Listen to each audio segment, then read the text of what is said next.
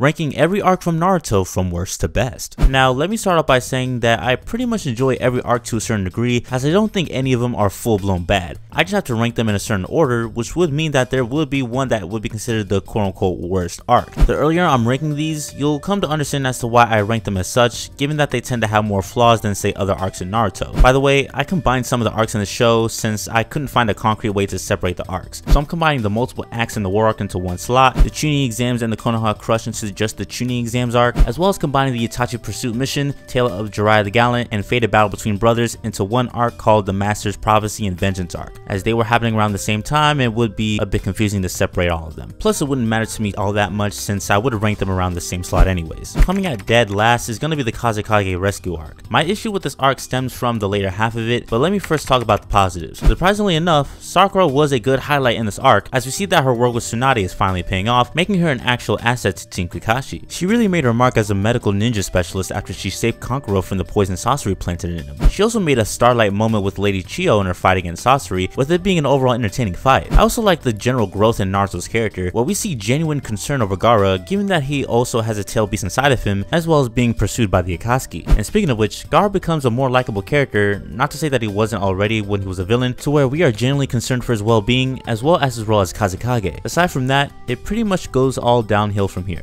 For starters, the inclusion of Itachi and Kisame feel unnecessary, as not only did they just pad time for this arc with their fights, but the fights themselves were pointless, due to them not actually being there to actually fight, as they were just clones of themselves. I know that they had to be clones because the real duo would have killed everyone there, but that further proves my point as to why they shouldn't be in this arc to begin with. Next would be the inclusion of Team Guy, or at least their use in this arc. Going back to the Kisame fight, it was pretty much useless, and the fight against their own clones was just a time waster for the arc as well, as they pretty much did nothing to help the main team out. Then you have the Naruto and Kakashi vs Deidara fight, was dragged out and wasn't all too eventful, aside from Kakashi using Kamui for the first time. I can't be mad at this arc, since it expanded the lore of the Akatsuki and gave more credence to what a Jinchuriki is, but aside from that, I'm not giving this arc too much credit. Definitely not a bad arc, but in my opinion, it's the worst. The war arc comes next as one of the worst arcs in Naruto, but this placement is more so based on circumstances. I'm including everything past the 5 Kage Summon arc into the slot, so I'm including Naruto undergoing his Nine Tails training, the initial beginning of the war, the Ten Tails revival, and Kaguya showing up. The initial beginning of the arc is downright abysmal, with it all just being fights with white Zetsu clones, as well as some fights that narratively sound cool, but amounted to nothing eventful, like the Team Asuma fight and the reunion between Kakashi and Zabuza. The main issue with this part of the story was that it dragged, but was saved by the revival of Madara and its outstanding first showing. The reveal of who was behind the mask was cool too, though I personally saw it a mile away of who was going to be behind the mask, and the fights from this point on is overall exciting to see. My main issue with this arc in general has to deal with a bunch of retcons. First is with Orochimaru coming back to life, as that felt out of place, as well as him just knowing how to revive the previous Hokage that were under the Reaper's death seal, and it also bringing Minato back, which in of itself isn't bad, but his upgrades with the Nine Tails powers and the random introduction to Sage Mode was out of place. It also doesn't help that since the beginning of the show that Minato was propped up to be the main ninja, the strongest the Leaf has come to know, but is trumped over the first Hokage simply so that he could be a suitable rival to Madara. If it was just this stuff, I wouldn't be too upset with this being a thing, but it just adds to the overall negatives I have with this arc. I don't like the idea of reincarnates in the story, particularly with Naruto and Sasuke, as I feel it cheapens the narrative of it all, as well as the half-baked inclusion of Kaguya. I go into further detail in my video on how the ending of Naruto was trash, so be sure to check that video out. But all in all, this ruined whatever respect I had for the Naruto franchise at this point, as it was fabricated to a certain degree. That being said, there's still a lot to enjoy about this arc, mainly with the fights being shown, such as Kakashi vs Obito, the allied shinobi forces against Obito and Madara, as well as Naruto vs Sasuke at the very end. This arc definitely has some highlights, but not enough to save it from being this low on the list. The Tenchi Bridge arc is rivaling with being the worst arc in the series for mainly with how the initial first half was a bit boring. I don't personally care for the inclusion of Sai if I'm being completely honest, but it's not like I hate him, nor would I remove him from this arc. Him being an emotionless tool was cool in of itself, since it contradicted with Naruto's personality, but there wasn't that big of a payoff aside from Sai just wanting to know more about emotions in general, which isn't bad, but isn't all that present in the remainder of the series. It also didn't help that Yamato was substituted for Kakashi as well. Now I also don't hate Yamato either, I just don't care for him, and he doesn't stand out aside from being a wood style user, only heard of with the first Hokage at this point of the story. But the story does pick up once the team arrives at the Tenchi Bridge and faces off against Orochimaru and Kabuto. Naruto vs Orochimaru is an amazing fight and stands out as one of the best, and going a bit forward, once we see Sasuke near the end of the arc, he stole the show as we get to see what the three years of training resulted for him. He decimated all of Team Kakashi and proved that seeking Orochimaru for power ended up working well for him. All in all, a pretty good arc all things considered, but it doesn't say the fact that it was initially really a bore to get through. Just so you know, going forward, I pretty much love the arcs I'm about to mention, like they'd be at least in A tier if I had to rank them that way, so it's gonna be hard for me to rank them the way that I did, but bear with me, as a lot of these could be interchangeable anyways. Coming up next for one of the quote unquote worst arcs is the Akatsuki suppression arc. I love this arc so much due to it not being hogged by Naruto and the other main characters. While Naruto had his moment to shine, we stuck around with side characters from Team Asuma like Shikamaru and they were used to great effect in the story. This is the first time a death in the show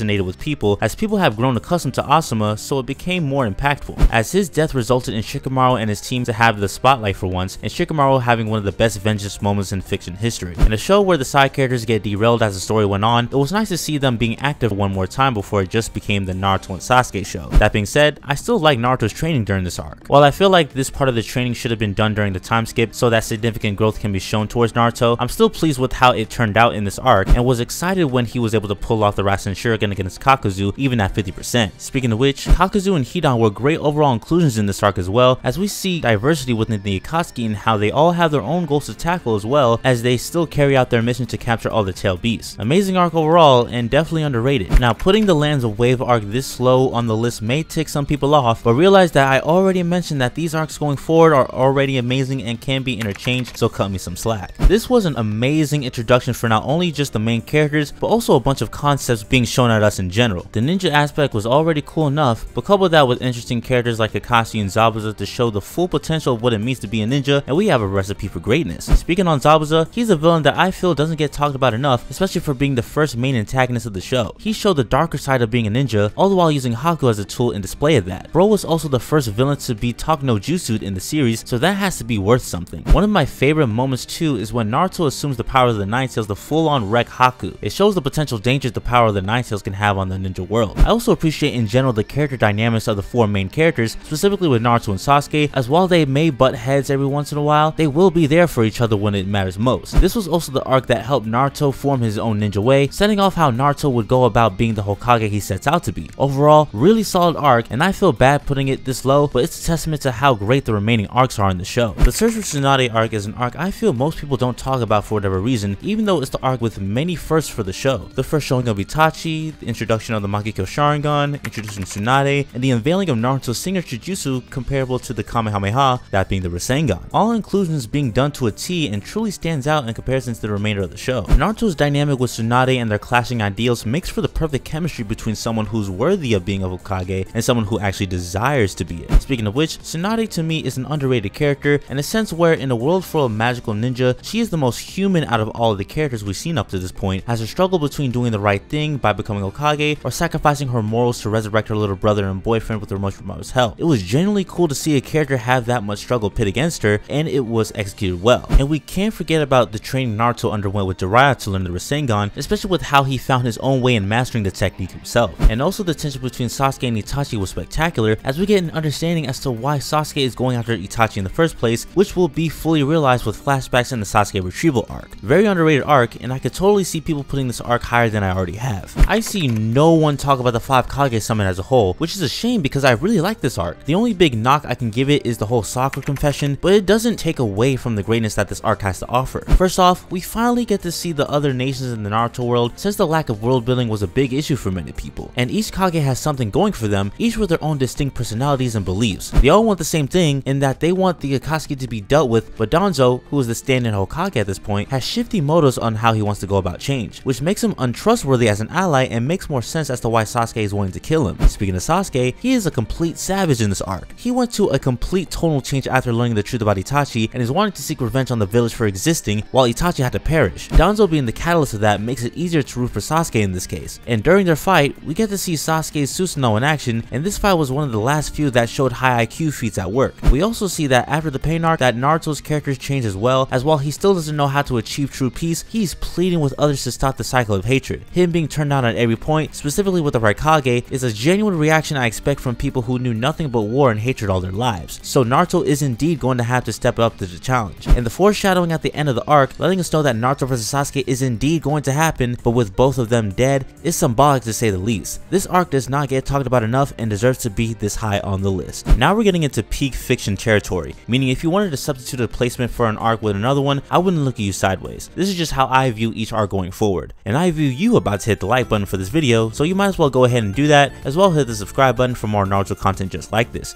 You won't regret it. The Master's Prophecy and Vengeance arc is a bit confusing to put, not in terms of placement, but more so in my mind, these were just two separate arcs. Like I typically put the Jiraiya portion along with the Pain Assault and all the Itachi Pursuit and Fated Battle into one, but since the manga and anime track them as one arc, I'll do it the same just to be fair. Sasuke's defiance for Orochimaru was unexpected to many, and looking back, it's crazy to think about that the big bad the past few arcs was beaten by Sasuke near the halfway point in the overall story of Naruto. Granted, Orochimaru was bedridden, so it was easier for Sasuke to go about killing him, but still, impressive story-wise that he did this, since it gave the idea that Sasuke would be able to fight against Itachi. Then we actually get to the long-awaited fight, and it doesn't disappoint in the slightest. Sasuke finally got his revenge he was hoping for, all for it to be fabricated as Itachi planned this all along, and was actually a spy for the Leaf Village. This reveal was insane and catapulted Sasuke's character into complete madness, but low-key in a justified manner once you realize it was because of the Leaf Elder's doings. And amongst all this, we also have Jiraiya infiltrating the Rain Village to learn more about the leader of the Akatsuki, who ends up being one of Jiraiya's old students, long thought to be dead. Their fight led to one of the saddest deaths in Naruto and would fuel the main character into getting his get back on pain, which I'll talk about a little later. Little to nothing wrong in this arc and could easily be considered the best arc had it not been for the next three I'm about to mention. One thing the Sasuke retrieval arc does well is keep you on the fence and the tension high. Like there wasn't a moment where you aren't on the edge of your seat given the opponents the Leaf Genin had to face. Each fight against the Sound 4 led you thinking that each of the Leaf Ninja were bound to die. Kimimaro's fight against Rock Lee was very entertaining, the Sand Village Genin showing up was an event, and of course, what many consider to be the best fight in the entire series, Naruto vs Sasuke in the final valley. And speaking of Naruto vs Sasuke, it was an overall amazing payoff, since it hinges off the fact that Naruto is the one trying to catch up to Sasuke, while Sasuke feels like he is being limited in his pursuit of power against Itachi. And with the conclusion of the fight being something you typically wouldn't expect from a story, that being the antagonist, Sasuke in this case, proceeding to be taken in by Orochimaru, you're left wondering how the remainder of the series is going to turn out, leading into the Shippuden era of the series. Definitely a top 3 arc in my eyes. The Chunin exams being at number 2 is going to upset a lot of people, and I totally get why. While I do really, really love this arc, the main critique I can give this arc is that a lot of the fights in the exams, primarily in the preliminary rounds, weren't all that great. You had fights like Sakura vs Ino, Naruto vs Kiba, and Choji vs Dosu weighing it down. But that said, these fights aren't enough for me to rank the arc any lower than number 2, because for one, they are still an exuberant amount of fights that are highly remembered in the series. Naruto and Sasuke vs Gaara at the end of the exams, Shikamaru vs Temari during, and of course, Rock Lee vs Gaara being remembered as the best fight in the series not named Naruto vs Sasuke. You also have a bunch of standout moments that would impact the show going forward, like the introduction of Orochimaru and Jiraiya, Sasuke receiving the curse mark, and the death of the third Hokage. This is the arc that gets me wanting to rewatch the Naruto series again, with how exciting it is to go through it. And some people may argue I'm actually being biased in putting this in front of the Sasuke retrieval arc for that exact reason, but I could argue against it saying that there's just too many highlights in this arc for me not to put it above it. That said, if someone wanted to switch out the placement with the retrieval arc, I wouldn't be mad at that, but for now, I'll put the Chunin exams arc at number 2. There was no doubt in my mind that I would put the Pain Assault arc at number 1. This arc is the closest thing to being a full 10 on 10. Much as I love Jiraiya, I'm glad he died for the sake of what comes out of this arc. Naruto has proper motivation to become stronger to take out his sibling student Pain, obtaining Sage Mode in the process, which, in my opinion, is the peak version of Naruto in terms of how he obtains a form and performs with it, not including the Kyuubi cloak in early parts of the story. And the Pain fight in of itself is one of the best fights in the series. I believe I had it in my top 5 in my list of best Naruto fights. And what came out of it was something life-changing for Naruto, as when he talked to Pain about his philosophy on how the world is run on hatred, it changed Naruto's perception on how to combat against this nature. And even by the end of the arc when he chats with Nagato, he still doesn't have a true answer to how he will go about finding peace. But that said, he said he'll go on because he was entrusted by his master to carry on that will. It was also crazy to see that Naruto went against the grain underlined in a bunch of these superhero stories and not for Kiba's enemy, as I feel that it was the most human moment I've seen from him, further illustrating that he still needs to find a way to achieve true peace and not trying to gas it up at the moment. This to me is where the Naruto series peaked and stands true to being ranked as the best arc in Naruto. I know we all won't have the exact same rankings of these arcs, so I'll pass the question off to you guys. How would you rank the arcs yourselves, or at least tell me what you think the top 5 best arcs are? I'd love to get y'all's input, so let me know in the comment section below. And if you want to see more rankings, click the card you see here which will take you to my video on ranking each and every Naruto villain from worst to best. I'm the Curly Hair Hokage, and I hope you all have an amazing and blessed day.